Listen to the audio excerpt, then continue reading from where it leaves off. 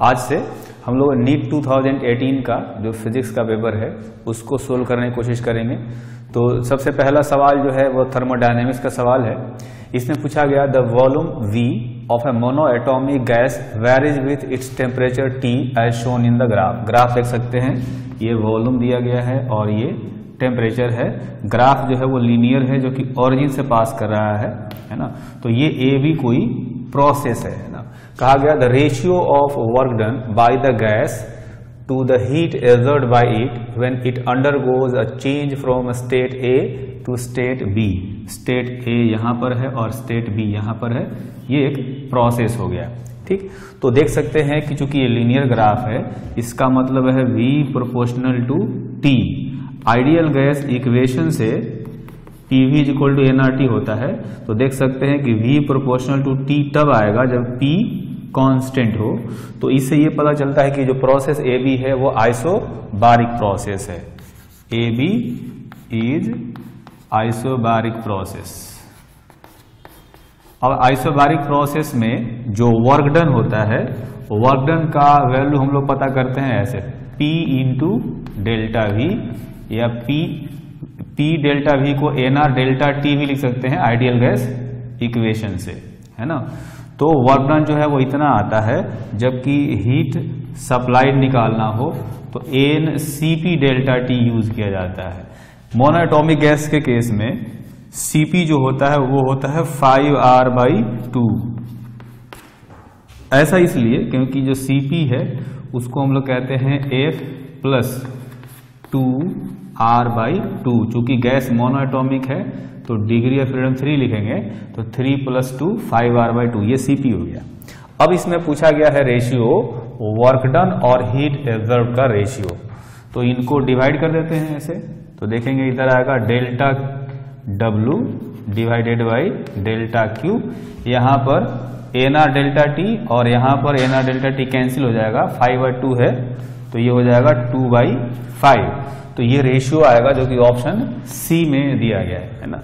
इसके बाद अगला सवाल क्वेश्चन नंबर टू ये साउंड वेव से रिलेटेड है। कहा गया था fundamental frequency in an open organ pipe is equal to the third harmonic of a close organ pipe open organ pipe में दोनों एंड्स ओपन होते हैं और जो क्लोज ऑर्गन पाइप है, इसमें एक एंड क्लोज और एक एंड जो है, वो ओपन होता है। तो इसकी जो फ्रीक्वेंसी है, अगर हम बात करें ओपन की इसकी फंडामेंटल फ्रीक्वेंसी होती है वी बाई टू एल इसका लेंथ मान लेते हैं एल है।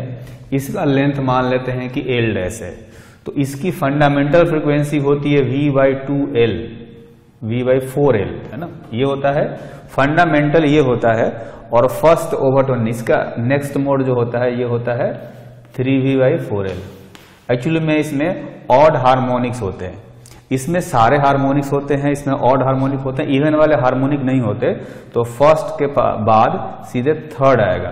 थर्ड का मतलब पहले वाले का थ्री टाइम्स तो इसका थ्री टाइम्स हो गया तो ये थर्ड हार्मोनिक है, और ओपन ऑर्गन पाइप का ये फंडामेंटल मोड का फ्रीक्वेंसी है। तो ये कहा गया कि ये फ्रीक्वेंसी इसका फंडामेंटल और क्लोज ऑर्गन पाइप का थर्ड हार्मोनिक दोनों इक्वल है। तो मैं दोनों को इक्वेट करता हूँ, v by two L is equal to three V by four L dash है ना? तो यहाँ पर देखेंगे कि क्लोज ऑर्गन पाइप का लेंथ दिया गया है। क्या कहा गया? If the length of the close organ pipe is 20 centimetre then the length of open organ pipe is तो क्लोज ऑर्गन पाइप का लेंथ दिया है ओपन ऑर्गन पाइप का लेंथ फाइंड करना है। यानी एल डैश दिया है एल की वैल्यू हमें फाइंड करनी है तो ये वी और वी कैंसिल हो जाएगा। एल का जो वैल्यू यहाँ से आएगा, वो आएगा four by six into L dash तो इसको हम लिख सकते हैं two by three L dash तो two by three into L dash जो है क्लोज ऑर्गन पाइप का लेंथ 20 सेंटीमीटर दिया गया है। तो ये हो जाएगा 40 बाई थ्री सेंटीमीटर, जो कि लगभग 13.3 सेंटीमीटर आएगा। देखेंगे यहाँ भी ऑप्शन सी जो है 13.3 सेंटीमीटर दिया गया है तो ये करेक्ट ऑप्शन हो गया। क्वेश्चन नंबर थ्री देखते हैं। इसमें कहा गया at what temperature will the RMS speed of oxygen molecules become just sufficient for escaping from the earth atmosphere earth atmosphere से स्केप करने के लिए जो मोलिकुल की वेलोसिटी चाहिए, वो स्केप वेलोसिटी के इक्वल चाहिए, है ना? स्केप वेलोसिटी कितना होता है? स्केप वेलोसिटी होता है अर्थ सरफेस से under root two G R two G का value 9.8 metre per second square ले सकते हैं। रेडियस जो है 6400 किलोमीटर होता है। इसको मीटर में कन्वर्ट कर सकते हैं। इसकी वैल्यू आता है 11,200 मीटर पर सेकेंड। है ना? ये इसके वेलोसिटी है। तो ये कहा गया कि किस टेम्परेचर पर ऑक्सीजन मोलकुल्स का स्पीड इतना हो जाएगा। इतना हो जाएगा तो क्या होगा कि अर्थ के एटमोस्फियर से वो स्केप कर जाएँगे।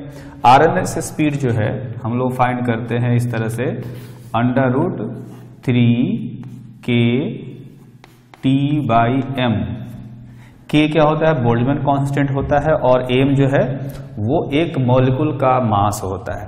इस फॉर्मूले से भी निकालते हैं और एक ये फॉर्मूला भी आता है three R T by capital M इसमें, इसी में अगर एगोटो नंबर से ऊपर नीचे मल्टीप्लाई कर देंगे तो ये वाला फॉर्मूला आ जाएगा।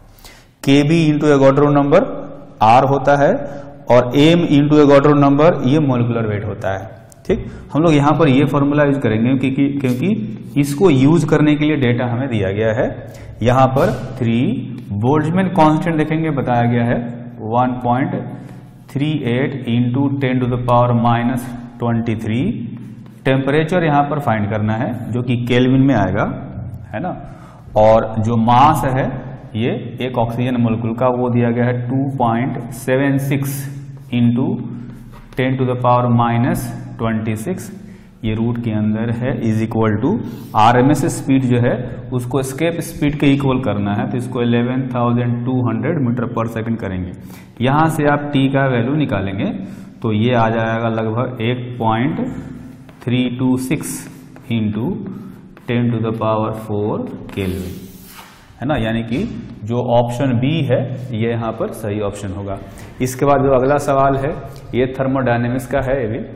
इसमें कहा गया the efficiency of an ideal heat engine working between freezing freezing point and boiling point of water freezing point का मतलब हुआ ज़ीरो डिग्री सेल्सियस और बॉइलिंग पॉइंट का मतलब हुआ 100 डिग्री सेल्सियस ठीक? तो ये जो हो गया, ये लोअर टेम्परेचर वाले रिजर्वायर का टेम्परेचर है और ये हायर टेम्परेचर वाले रिजर्वायर का टेम्परेचर है। मतलब ये सोर्स का टेम्परेचर हुआ और ये सिंक का टेम्परेचर हो गया। ठीक? तो हमें पता है कि हीट इंजन की जो इफिशियंसी होती है, उसको हम लिखते हैं work done by heat supplied और इसको हम लोग इस तरह से भी लिखते हैं one minus T L by T H यहाँ पर टी एल और टी एच को हम लोग केल्विन में रखते हैं। तो टी एल जो है केल्विन में रखेंगे तो आएगा 273 केल्विन ज़ीरो डिग्री सेल्सियस में था। केल्विन में 273 होगा और टी जो है 100 डिग्री सेल्सियस में है, केल्विन में करेंगे तो 373 आएगा, है ना? तो ये हो गया 100 माइनस थ्री अगर परसेंटेज इफिशियंसी निकालना हो, है ना? परसेंटेज इफिशियंसी तो 100 divided by 373 seventy three into hundred कर देंगे। तो ये आ जाएगा 26.8 परसेंट यानी कि ऑप्शन सी जो है ये करेक्ट ऑप्शन हो जाएगा। नेक्स्ट क्वेश्चन देखते हैं, जो कि, जो रेजिस्टेंस में कलर कोड का जो कॉन्सेप्ट होता है, उससे रिलेटेड है। कहा गया carbon resistor of 47 plus minus 4.7 kilo ohm is to be marked with rings of different colours for its identification the colour code sequence will be यहाँ पर जो कलर का सीक्वेंस दिया गया है ऑप्शन में, वो हमें सही ऑप्शन सिलेक्ट करना है। तो रेजिस्टेंस का जो वैल्यू दिया गया है, उसको हम लोग कुछ इस तरह से लिख सकते हैं। दिया गया है 47 प्लस माइनस 4.7 किलो ओम, है ना? इसको थोड़ा सा एक्सपेंड करके लिखेंगे। तो लिखा जाएगा 47 seven into ten to the power 3 plus minus ये 4.7 देखेंगे इसका 10 परसेंट है ये। तो लिखा जा सकता है plus minus ten percent accuracy जो है, या एरर जो है, आएगा। तो अब इसमें से हम लोग कलर कोड की जो सीक्वेंस है, वो बता सकते हैं। ये जो फोर है फोर का मतलब होता है यहाँ पर येलो कलर और जो दूसरा डिजिट है ये, यहाँ पर सेवन का मतलब होता है वायलेट वायलेट और ये तीसरे में टेन पावर थ्री है है ना? तो ये जो थ्री है, इसको हम लोग कह सकते हैं कि ये ऑरेंज से रिप्रेजेंट करते हैं और ये जो टेन परसेंट का एरर है, वो इसको हम लोग सिल्वर से रिप्रेजेंट करते हैं, है ना?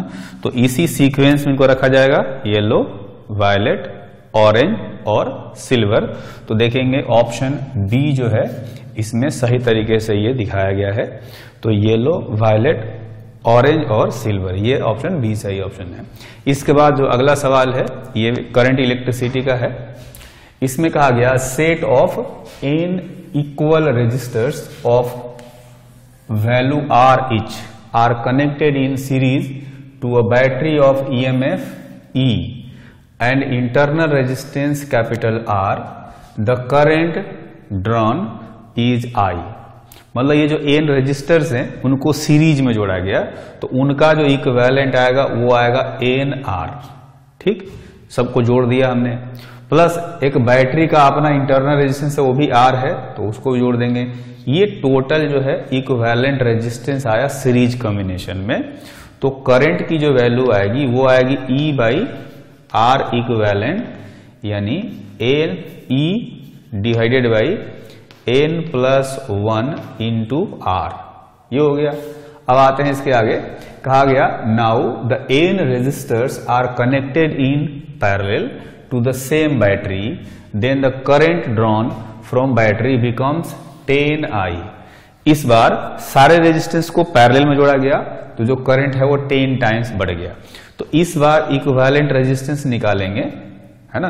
क्योंकि सारे सीरीज़ में है तो उनका इक्वेलेंट आएगा R by N N resistance parallel में रखेंगे तो आर बाई एन आएगा, है ना? कुछ इस तरीके से। ये सारे पैरेलल में होंगे, इस तरह से। और लास्ट में एक बैटरी है, इसका भी रेजिस्टेंस आर है। तो ये सारे पैरेलल में है और इसके साथ ये सीरीज़ में है। तो इसमें मैं एक जो इंटरनल रेजिस्टेंस बैटरी का, उसको ऐसे ऐड कर दूँगा, है ना? तो ये हो जाएगा N plus one by N into R. ये आर इक्वलेंट आ गया। इस बार जो करंट है वो आया है टेन आई, जो कि आएगा E divided by R equivalent, यानी कि N plus one into R by N. तो ये एन इधर चले जाएगा, है ना? अब यहाँ से आई का वैल्यू यहाँ से सब्सिट्यूट कर देंगे तो टेन आई का वैल्यू ये आएगा E divided by N plus one into R है ना? ये टेन हो गया। आई का वैल्यू यहाँ से रख दिया is equal to E into N by N plus one into R तो देखेंगे ये और ये कैंसिल हो गया ई e और ई e कैंसिल हो गया। तो एन का जो वैल्यू है, वो आ गया टेन ओम टेन आ गया मतलब ये नंबर है। रजिस्टर्स का तो ये आ गया टेन तो ऑप्शन सी देखेंगे. सी में ये टेन बताया गया है तो ये करेक्ट ऑप्शन हो गया. अगला सवाल देखते हैं. इसमें कहा गया है battery consist of variable number N of identical cells each having internal resistance R which are connected in series the terminals of the batteries are short circuited and the current I is measured. Which of the graphs shows the correct relationship between current and number n, I and n. तो अगर देखा जाए तो ये सारे battery जो हैं वो सीरीज़ में जुड़े गए हैं है ना इस तरह से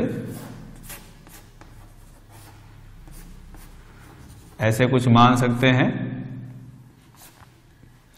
यहाँ पर इस तरह से बैटरीज को जोड़ा गया है और फिर लास्ट में इनको शॉर्ट सर्किट कर दिया गया, जोड़ दिया गया एक तरह से। तो क्या होगा, ये जितने भी बैटरीज हैं, सारे सीरीज़ में हो गए। सारे सीरीज़ में हो गए, सबका ईएमएफ ई e है।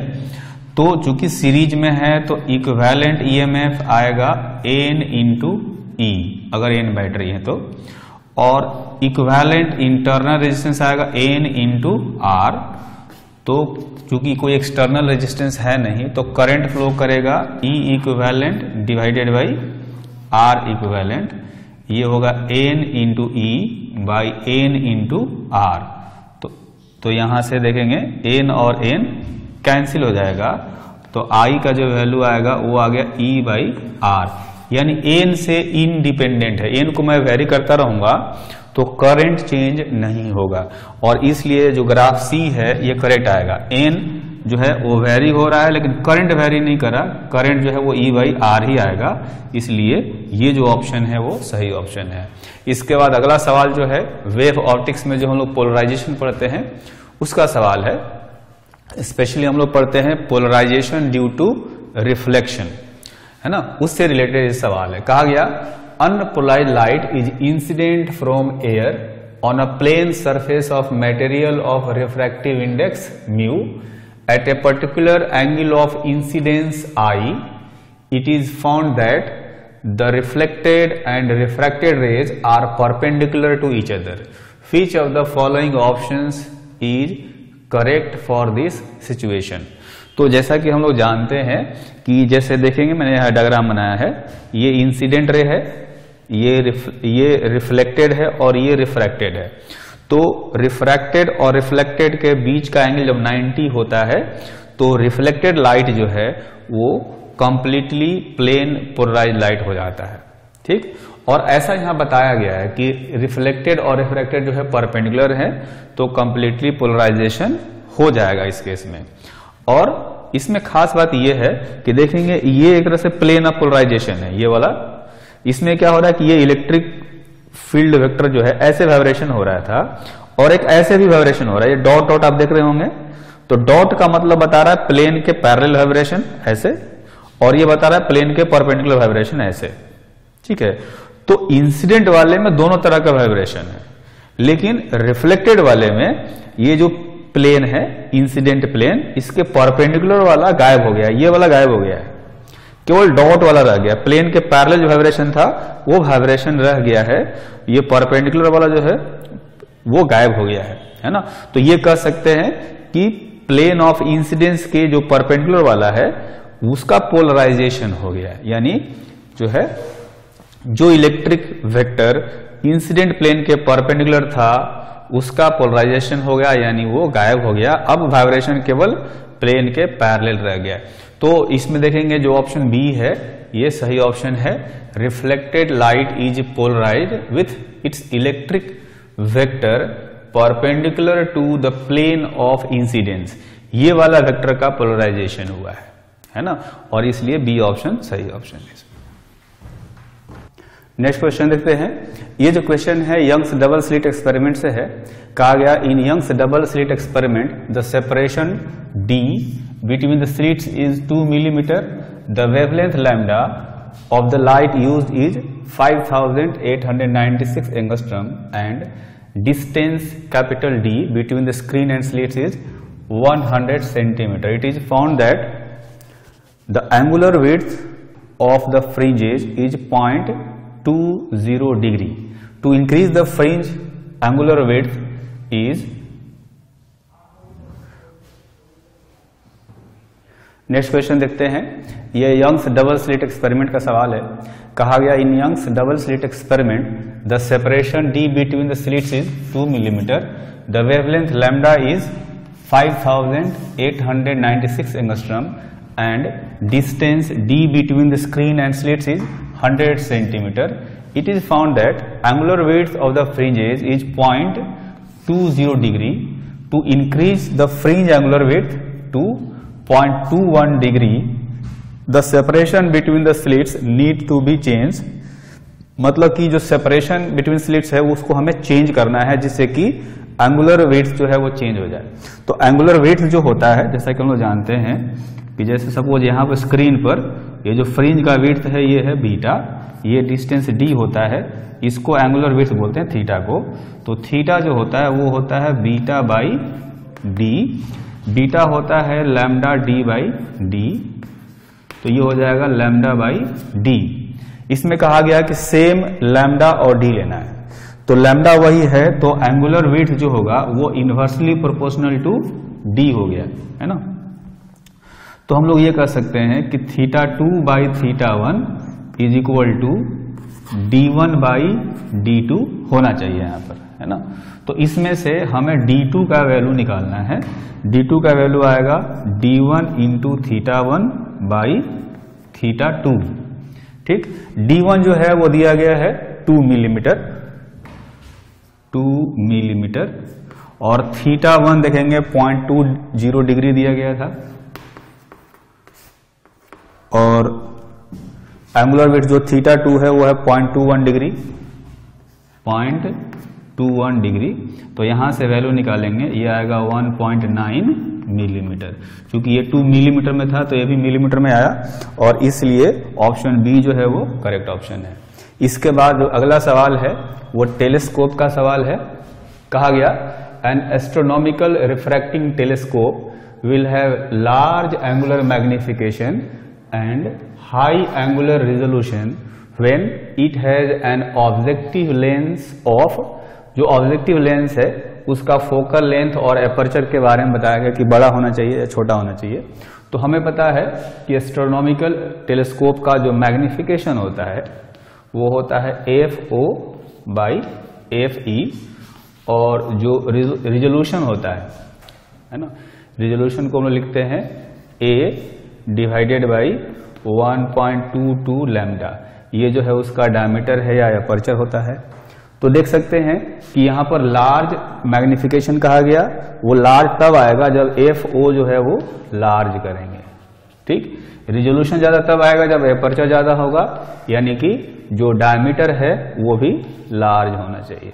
तो इस हिसाब से देखेंगे कि जो फ़र्स्ट ऑप्शन है, ये सही होना चाहिए। लार्ज फोकल लेंथ होना चाहिए ऑब्जेक्टिव लेंस का और लार्ज डायमीटर भी होना चाहिए। अगला सवाल देखते हैं जो कि मॉडर्न फिजिक्स का है। कहा गया the ratio of kinetic energy to the total energy of an electron in a Bohr orbit of the hydrogen atom is जब किस आ, किसी हाइड्रोजन एटम के अंदर जो है ये इलेक्ट्रॉन रिवॉल्व करता है तो उसकी जो कानेटिक एनर्जी होती है कानेटिक एनर्जी होता है K E squared divided by two R ये होता है हाइड्रोजन एटम के अंदर, ठीक? जबकि इसकी पोटेंशियल एनर्जी निकालते हैं तो पोटेंशियल एनर्जी होता है minus K E square by are ऐसा इसलिए है क्योंकि यहाँ पर अंदर जो है एक प्रोटॉन है प्लस ई चार्ज और बाहर एक इलेक्ट्रॉन है, ठीक है? तो potential energy K Q one Q two by R वाले फॉर्मूले से ये आता है। और ये जो काइनेटिक एनर्जी का वैल्यू आता है, वो इसका इक्वेशन में मोशन लिखते हैं, जो कुलम्स फोर्स है K E Q one Q two by R squared is equal to half ये M V squared by R है ना? तो आर और आर कैंसिल हो गया। एम वी स्क्वायर का वैल्यू जो है के स्क्वायर बाई आर आता है। हमें तो कानेटिक एनर्जी चाहिए तो हाफ़ एम वी स्क्वायर चाहिए। तो देखेंगे ये आ गया कानेटिक एनर्जी। ठीक? पोटेंशियल एनर्जी ये है, टोटल एनर्जी अगर निकालेंगे तो टोटल एनर्जी इन दोनों को ऐड करने से आएगा, जो कि आएगा minus K E squared by two R. तो यहाँ पर कानेटिक एनर्जी और टोटल एनर्जी का रेशियो पूछा गया है। देखेंगे, मैग्नीट्यूड दोनों का इक्वल है, केवल साइन जो है वो अपोजिट है। तो kinetic energy divided by total energy का जो रेशियो है वो आएगा वन बाई माइनस वन है ना? तो बी जो ऑप्शन है, ये सही ऑप्शन है one is to minus one इसके बाद अगला सवाल है an electron of mass M with a velocity v is equal to V not I cap enters an electric field E is equal to minus E not I cap at T is equal to zero if lambda not is its de Broglie wavelength initially then its de Broglie wavelength at time T आप देख सकते हैं कि इसकी जो velocity है, वो शुरू में एक्स डायरेक्शन में है इलेक्ट्रिक फ़ील्ड जो है, वो इधर है निगेटिव डायरेक्शन में। लेकिन चूँकि ये इलेक्ट्रॉन निगेटिव चार्ज होता है तो उस पर इलेक्ट्रिक फोर्स लगेगा वेलोसिटी की तरह इधर लगेगा इलेक्ट्रिक फ़ील्ड के उल्टा। तो फोर्स लगेगा ई इंटू ई नॉट ठीक? तो इसका एक्सेलरेशन कितना आएगा? एक्सेलरेशन आएगा फोर्स डिवाइडेड बाई मास तो किसी टाइम टी पर वेलोसिटी निकालेंगे, v is equal to V not plus A T तो ये हो जाएगा V not plus E E not T by M ये फाइनल वेलोसिटी आया हमें पता है कि जो डिब्रोगली वेवलेंथ होता है, वो होता है h बाई पी यानी कि h by M V not ठीक? अब न्यू वेवलेंथ फाइंड करना है टाइम t पर। तो हमें लिखना पड़ेगा h by M into V V जहाँ पर ये है तो इसको लिख सकते हैं H by V not M into V not plus E E not T by M ठीक? इसको थोड़ा सा सिंप्लीफाई करेंगे। H डिवाइडेड बाई इसमें से v नॉट कॉमन लेकर बाहर निकालते हैं। एम वी नॉट तो आएगा one plus E into E not into T by M V not अब देखेंगे H by M V not जो है, वो लैमडा नॉट के इक्वल है। तो ये हो जाएगा लैमडा नॉट ये वाला divided by one plus E E not T by M V not तो जो न्यू वेवलेंथ है, वो इतना आएगा। अब देखेंगे जो ऑप्शन सी है, इसमें यही दिया गया lambda not divided by one plus E E not T divided by M V not है ना? तो ऑप्शन सी जो है, ये करेक्ट ऑप्शन है। नेक्स्ट क्वेश्चन देखते हैं। ये जो क्वेश्चन नंबर थर्टीन है, ये न्यूक्लियर फिजिक्स का सवाल है स्पेशली रेडियो एक्टिविटी का है।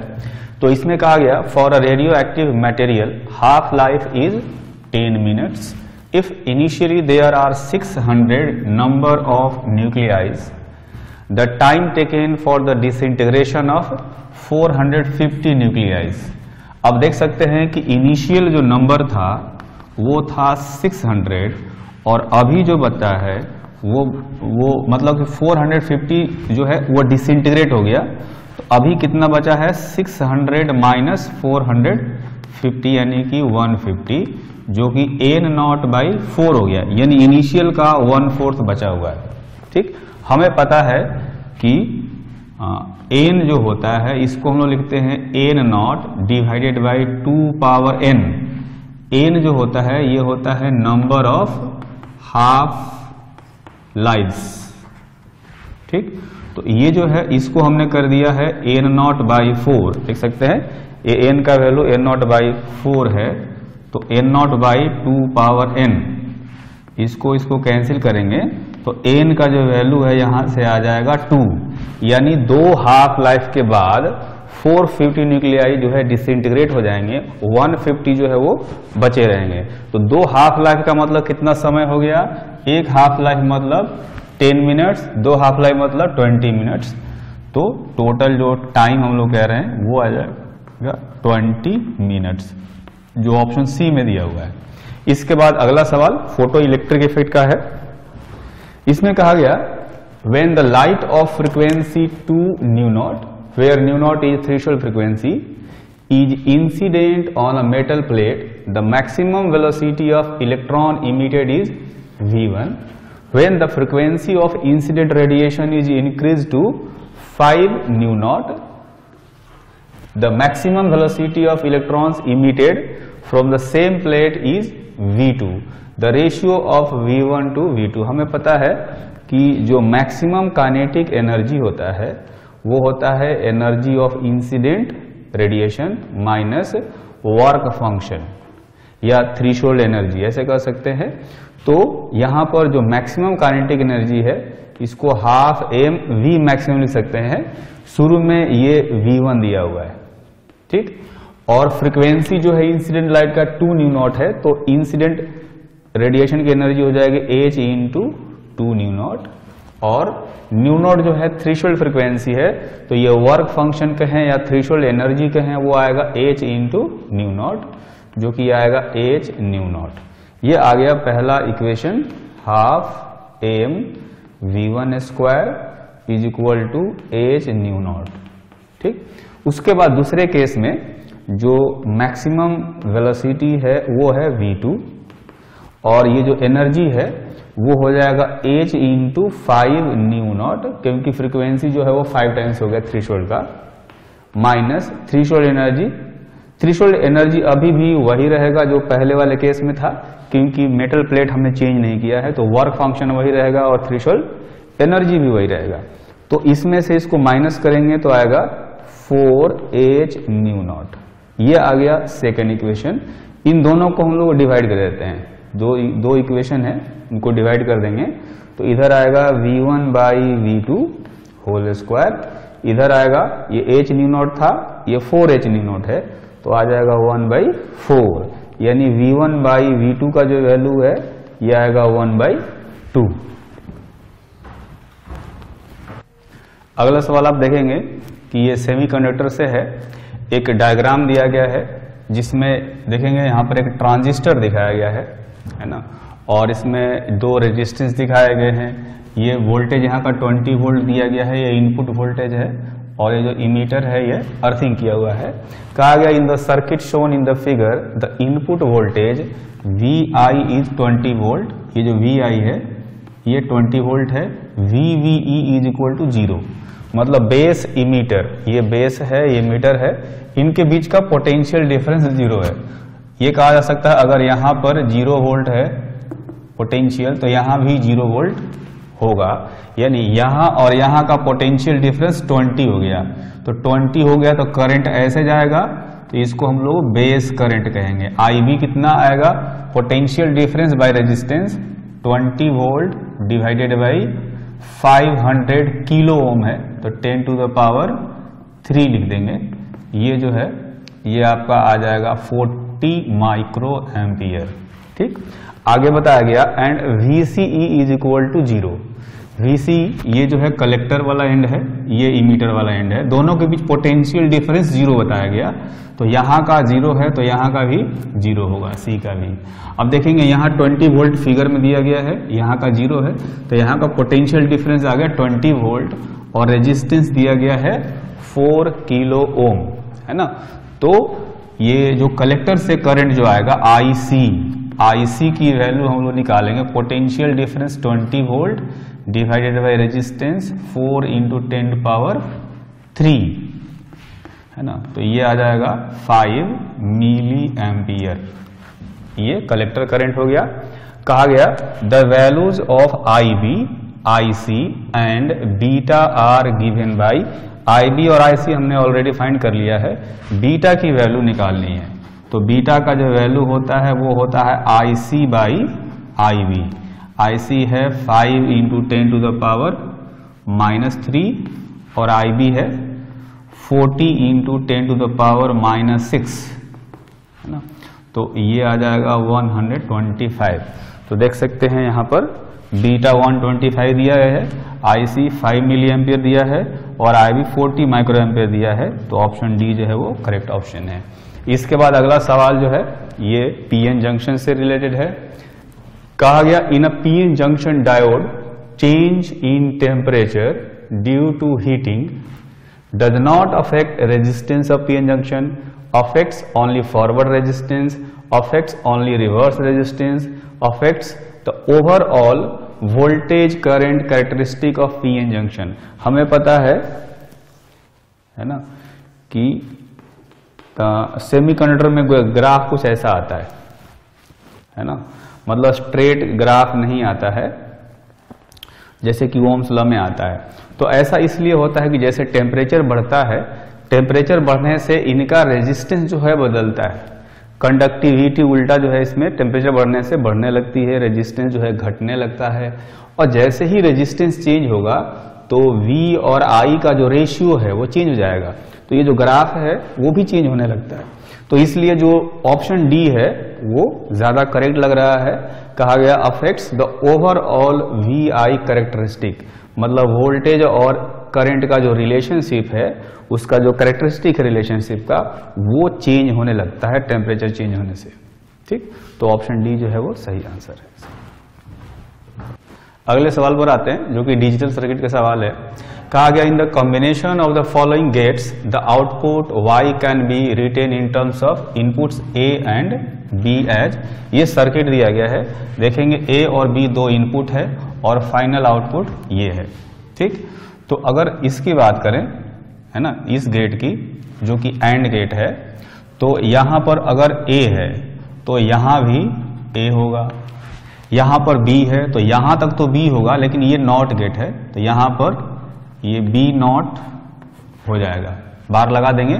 अब यहाँ और यह ये एंड गेट है तो एंड गेट का जो रिज़ल्ट आता है, जैसे मान लेते हैं कि यहाँ पर जो रिज़ल्ट है, वो आएगा सी तो इन दोनों का जो है, ये एंड गेट है तो आएगा A इंटू बी बार ये एंड गेट का जो है बुलियन एक्सप्रेशन होता है।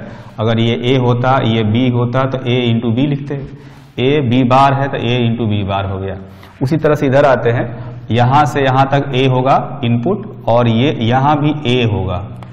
यहाँ ए होगा, लेकिन ये नॉट गेट है तो यहाँ पर आ जाएगा ए बार फिर ये बी है तो यहाँ से यहाँ तक बी होगा, है ना? और ये ए बार और बी बार, ये फिर से एंड गेट आ गया। तो यहाँ पर जो आउटपुट आएगा एंड गेट के बाद, वो आएगा ए बार इंटू बी है ना? ए बार इंटू बी ये आ गया।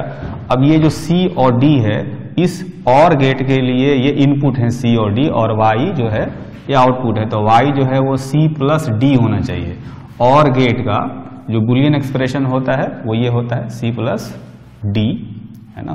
तो सी का जो वैल्यू है, वो ये है ए इंटू बी बार और डी का जो बुलियन एक्सप्रेशन है वैल्यू है, वो है ए बार इंटू बी तो देखेंगे यहाँ पर ऑप्शन बी जो है, इसमें ये दिया हुआ है है ना? तो ये करेक्ट ऑप्शन हो गया। इसके बाद जो अगला सवाल है इलेक्ट्रोमैग्नेटिक वेव का है। कहा गया an electromagnetic wave is propagating in a medium with velocity v equal to V I cap the instantaneous oscillating electric field of this electromagnetic wave is along plus y axis then the direction of oscillating magnetic field of electromagnetic wave will be along अब जैसा कि हम लोग जानते हैं कि electromagnetic wave में E cross B ये जो होता है ये C के इक्वल होता है या B के इक्वल होता है है ना? तो इलेक्ट्रिक फ़ील्ड y डायरेक्शन में दिया है, इसको मैं लिख देता हूँ E not I cap magnetic field का डायरेक्शन हमें नहीं पता है, ठीक है? जो भी होगा, इसको बी रहने देते हैं। ये है ये है v इंटू आई कैप तो देख सकते हैं कि ये जो है इलेक्ट्रिक फ़ील्ड y डायरेक्शन में है तो यहाँ पर हमें जे कैप लगाना चाहिए, ठीक? तो मैग्नेटिक फ़ील्ड का डायरेक्शन किधर होगा जिससे कि ये इक्वेशन सेटिस्फाई हो जाए? तो देख सकते हैं, अगर मैं इसको के कैप डायरेक्शन में रखता हूँ तो J cross K cross product है जे क्रॉस के आई होता है, इसलिए मैग्नेटिक फ़ील्ड जो है वो प्लस के कैप यानी कि प्लस जे डायरेक्शन में होना चाहिए। और इसलिए जो करेक्ट आंसर है वो बी हो जाएगा।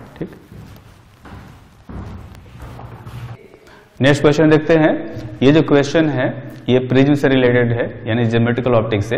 कहा गया the refractive index of the material of a prism is root two and the angle of prism is 30 degree जैसे अगर एक डायग्राम बनाए तो ये 30 डिग्री है। इसका रिफ्रैक्टिव इंडेक्स रूट टू हो गया। ठीक? कहा गया one of the two refracting surfaces of the prism is made a mirror inverse by silver coating जैसे इसको बाहर से सिल्वर कोटिंग कर देंगे तो अंदर वाला सरफेस जो है वो रिफ्लेक्टिंग फेस बन जाएगा। अब कहा गया beam of monochromatic light entering the prism from the other face will retrace its path after reflection from the silver surface if its angle of incidence on the prism is अब देख सकते हैं suppose ये normal है है ना? तो यहाँ से कोई लाइट इंसिडेंट हुआ। ये एंगल ऑफ़ इंसिडेंस है। अब यहाँ से लाइट रिफ्रैक्ट होगा। रिफ्रैक्ट होने के बाद इस सरफेस पर जब परपेंडिकुलर गिरेगा, तभी जाकर के यहाँ से रिफ्लेक्ट होने के बाद पाथ को रिट्रेस कर सकता है। है ना? परपेंडिकुलर गिरेगा तो सीधे लौट आएगा उसी पाथ पर और पाथ को रिट्रेस करने लगेगा। तो अगर ये एंगल 90 डिग्री है, ये 30 डिग्री है तो ये 60 डिग्री बन जाएगा इस ट्रायंगल में, है ना? अब हमें पता है कि ये तो नॉर्मल है इस सरफेस पर तो ये टोटल 90 है। अगर ये 60 है तो ये 30 डिग्री हो गया। अब देखेंगे कि यहाँ पर जो लाइट इधर से जा रहा है, इसलिए एंगल ऑफ़ इंसिडेंस आई है, जबकि एंगल ऑफ़ रिफ्रैक्शन 30 डिग्री होगा। तो यहाँ पर हम लोग स्नेल्स ला यूज़ कर सकते हैं। इधर एयर है तो one sine I is equal to इस साइड में रिफ्रैक्टिव इंडेक्स है रूट टू और एंगल ऑफ़ रिफ्रैक्शन है 30 डिग्री ठीक? तो ये हो गया root two sine thirty degree one by two होता है तो फाइनली आया वन बाई रूट टू तो sine I one by root two है, इसका मतलब आई का वैल्यू हो गया 45 डिग्री है ना? तो देखेंगे इसमें से ऑप्शन बी जो है वो सही ऑप्शन आएगा। इसके बाद अगला सवाल भी ज्योमेट्रिकल ऑप्टिक्स का है। इसमें कहा गया an object is placed at a distance of 40 centimetre from a concave mirror of focal length 15 centimetre ठीक? तो जैसे कि एक कॉनकेव मिरर होता है तो कॉनकेव मिरर के लिए जो इमेज डिस्टेंस होता है, उसको हम लोग लिखते हैं, v is equal to U F by U minus F ये कहाँ से आया? ये जो मिरर फॉर्मूला होता है one by V plus one by U equal to one by F, इसी फॉर्मूले में से v का वैल्यू निकालेंगे तो ये आएगा। इस शॉर्ट फॉर्मूले को हम लोग यूज़ करेंगे। कहा गया if the object is displace through distance of 20 centimetre towards the mirror the displacement of the image will be पहला केस तो क्या है? पहला केस कहता है कि अगर ये मिरर है है ना? तो इसका फोकल लेंथ दिया गया है 15 सेंटीमीटर पर, जबकि ऑब्जेक्ट रखा गया है 40 सेंटीमीटर पर, है ना? ऑब्जेक्ट डिस्टेंस 40 सेंटीमीटर पहले दिया गया है। तो चूँकि लाइट इधर से आ रहा है तो इंसिडेंट लाइट के डायरेक्शन को हम लोग पॉजिटिव लेते हैं और उसका उल्टा डायरेक्शन को निगेटिव लेते हैं। तो इस केस में object distance minus forty focal length minus fifteen ये दोनों वैल्यू इसमें रखेंगे। तो इमेज डिस्टेंस जो है वो आएगा minus forty minus fifteen by minus forty plus fifteen यह आ जाएगा माइनस ट्वेंटी फोर सेंटीमीटर ठीक? अगला पार्ट में कहा गया है कि जो ऑब्जेक्ट है, उसको 20 सेंटीमीटर मिरर की तरफ़ खिसका दिया। तो ऑब्जेक्ट यहाँ पर था, उसको 20 सेंटीमीटर इधर खिसकाएँगे तो फोकस के थोड़ा सा इधर रहेगा। फोकस 15 सेंटीमीटर पर है 40 में से 20 माइनस करेंगे तो ये 20 आ गया तो ऑब्जेक्ट डिस्टेंस इस बार 20 आएगा निगेटिव में। तो सेकेंड केस में ऑब्जेक्ट डिस्टेंस हो गया माइनस ट्वेंटी, फोकल लेंथ जो है अभी भी माइनस फिफ्टीन है। तो उसी फॉर्मूले से इमेज डिस्टेंस का वैल्यू निकालेंगे, minus twenty, minus fifteen, minus twenty, minus और माइनस प्लस फिफ्टीन हो जाएगा। इसको आप सोल्व करेंगे तो आएगा माइनस सिक्सटी सेंटीमीटर है ना? तो पहले माइनस ट्वेंटी फोर पर बन रहा था इमेज अब माइनस सिक्सटी पर बन रहा है। तो ऐसे कर सकते हैं कि ऑब्जेक्ट जो है पहले यहाँ से 24 पर था और अब यहाँ से 60 पर बन रहा है। पहला इमेज यहाँ पर था और दूसरा इमेज यहाँ पर है। तो इमेज कितना डिस्प्लेस हो गया? ये मिरर से दूर गया है। कितना? 60 minus twenty four sixty minus twenty four जो कि 36 सेंटीमीटर आएगा तो कह सकते हैं it is displace 36 centimetre away from the mirror है ना? तो देखेंगे ऑप्शन बी दिया गया है 36 centimetre away from the mirror तो ये करेक्ट ऑप्शन हो गया।